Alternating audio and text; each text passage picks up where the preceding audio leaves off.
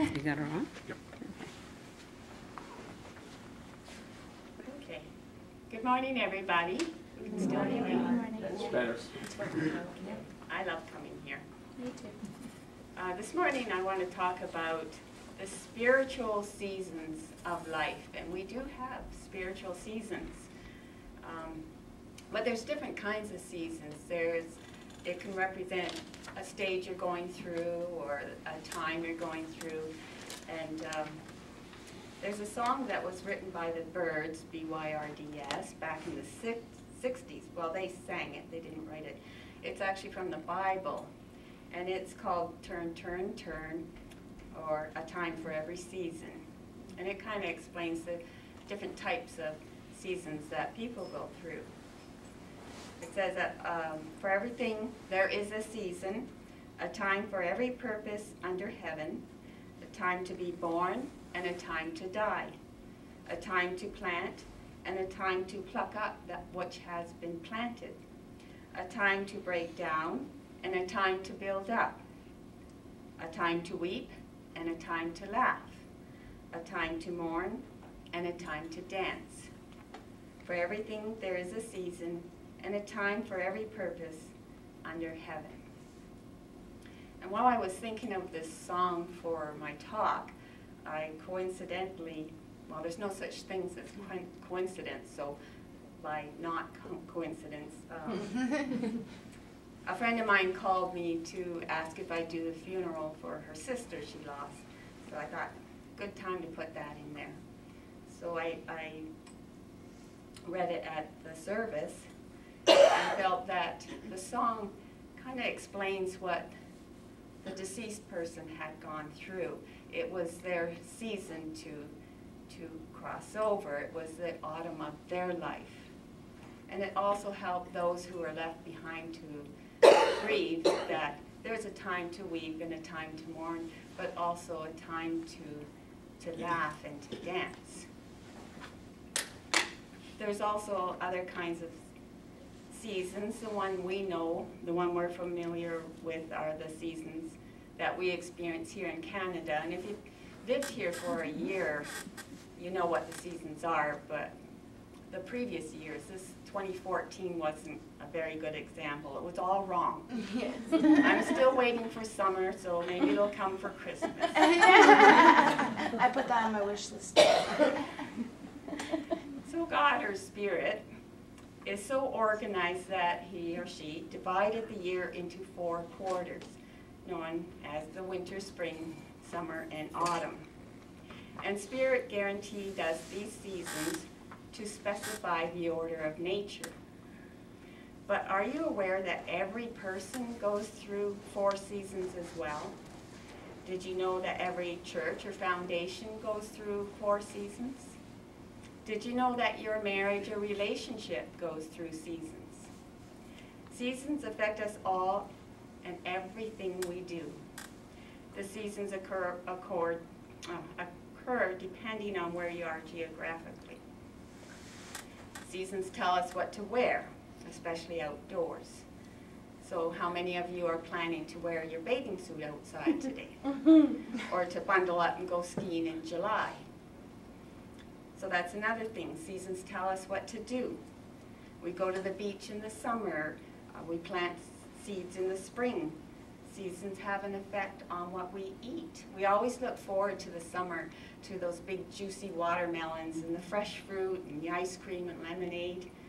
And in the winter, we tend to eat more like stews and soups and hot chocolate or hot toddy. Seasons can affect our moods and attitudes. We find we're in better moods when we're in the season that we enjoy the most. But seasons aren't just defined by natural or nature's seasons that we ex- experience each year. It can refer to, as the song said, to time, a stage, or a process that someone or something is going through, any period of time a time characterized by a particular circumstance or feature, such as in season of religious awakening. We all experience spiritual seasons, and it's surprising how we can use each of the nature seasons to symbolize our spiritual seasons. The seasons change in our lives depend significantly on where you are spiritually. There's a way to record the seasons in nature, just as there is a way to record the seasons of spiritual seasons. We hear about the autumn of one's life, which means coming to the end of their life. And it doesn't mean it has to be in autumn, it can be any time of the year. It's just the, the symbol comparing the two. Spiritual seasons are not weather related. They're more related to spiritual growth and development. We can use nature's seasons to be symbol symbolic to spiritual growth. The spiritual seasons one goes through are not necessarily occurring at the same time as the nature's seasons. Each one is different, just like the nature's seasons can be different, like the winter we had last year, the ice storm, that's not, doesn't occur every winter, or like the past summer we just had, it's not our typical summer. So God's natural seasons versus spiritual seasons. So the, the natural seasons, as we discuss, and we all know them, are made up of four divisions of the calendar year, marked by changes in weather, ecology, and hours of daylight, which results from the yearly revolution around the, of the earth around the sun, S-U-N. Spiritual seasons depend on our personal relationship and how our lives revolve around the sun, S-O-N, or spirit. The natural four seasons are so complementary, so synchronized, that even though each has its own characteristics, one could not operate on its own without the help of the other three. The rainy season, which we usually get in the spring, brings forth rain for sowing, and the season of the harvest, autumn, brings forth crops and gardens. So we need each of the four seasons to, to help each other. They help one another. The spiritual seasons, just as we have the natural seasons, there are also spiritual seasons. And God, our Spirit, gave us the natural seasons we go through as we go through our daily acts of living. Everyone is in a spiritual season. You are in one of the four spiritual seasons right now for a divine purpose. Spirit is working to bring you out of self, self-satisfaction, contentment, also known as smugness, or preparing you for some distinctive, exclusive role or position in life. So allow Spirit to help get the most out of whatever season you are in right now. Within your spiritual seasons, you will notice changes in every aspect of your life. The more you develop, the more you'll notice the changes. And that includes your marriage, your relationship, your careers, your children, your friends, your finances, everything that involves you. So let's look at each natural season and compare it to in relation to spiritual seasons. As we know, the natural winter is the season of the shortest days. It's the coldest, um, with snow and ice and limited sunlight. It's the time you feel cold and uncomfortable. Definitely not the time to plan to plant, but to begin planning what you are going to plant in the next season. So your spiritual winter is the time of darkness. The trees are bare and flowers have withered and died. We may even feel that spirit has deserted us. Or, but this is the time to curl up with spirit, in spirit's lap, for warmth and intimacy. There, he or she, will give you directions for planting new seeds in the spring. This is a time we may feel lost, unsure, struggling to find ourselves to find our directions in life. This is a time where a lot of you, including myself, have started coming here to find ourselves, to find the answers, and to go to the Wednesday night meditations, to take the classes. this is due to the darkness that you were in, to find yourself and move forward, to spiritually grow. Winter is a time for assessment, planning, and preparation. It's the time to shovel snow and ice from the driveway of your mind. The time to learn to find your way, plot a route on the icy roads you are about, you are on about your daily living. It's a time when devotion, adoration, love, and honor should be a natural habit, for it will keep your heart warm before a divine spirit. Spiritual winter is the time to plan for the upcoming seasons. We have our natural spring, marks the transition from winter into summer, the in-between. It's a time for romance and passionate descriptions of buds and blossoms, the time for sowing. Spring brings new leaves and blossoms on the trees. Your spiritual spring is a time to plant and carry out lessons gathered from your spiritual winter. Being with Spirit through the winter will give you the spiritual and physical energy to break up your unplanted grounds. Spiritual spring is a time to come out of the darkness of winter. Flowers will push up through the earth.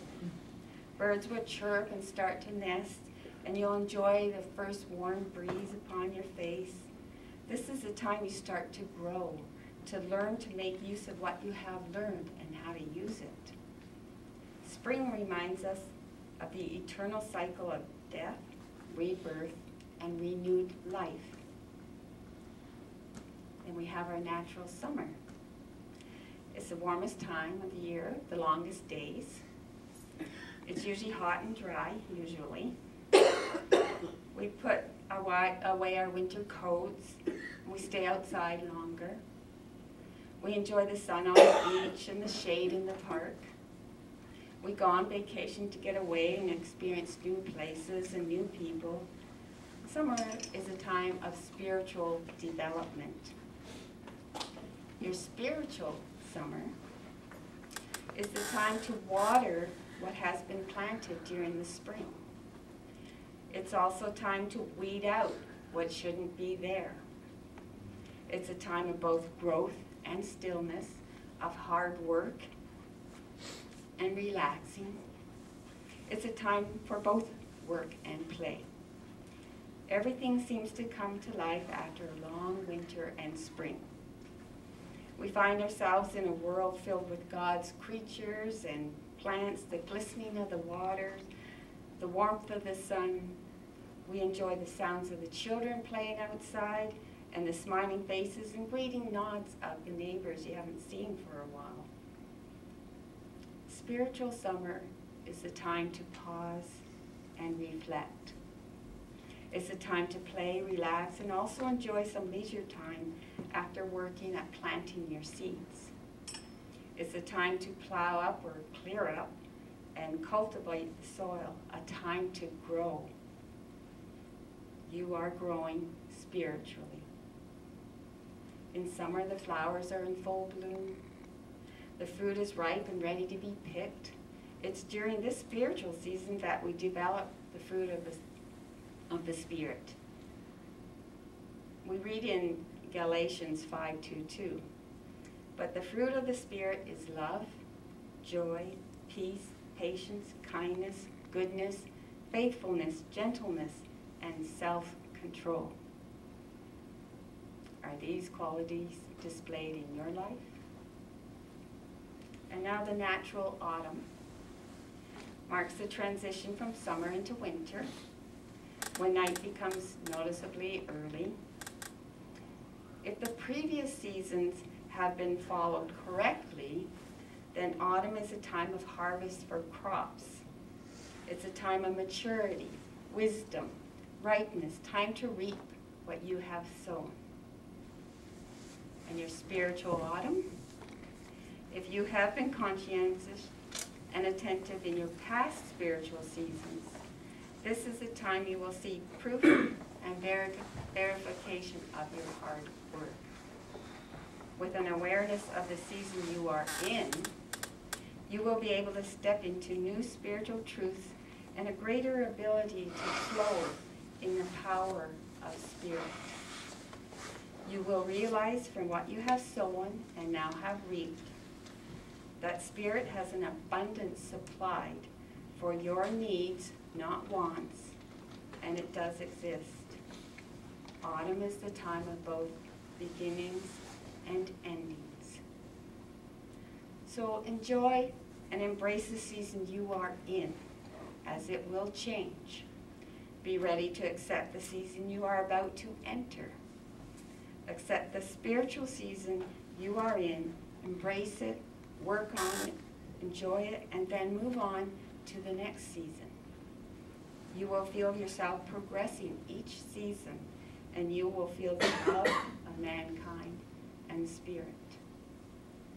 To everything, to everyone, there is a season and a time to every purpose under heaven. God bless, and thank you for allowing me to share with you.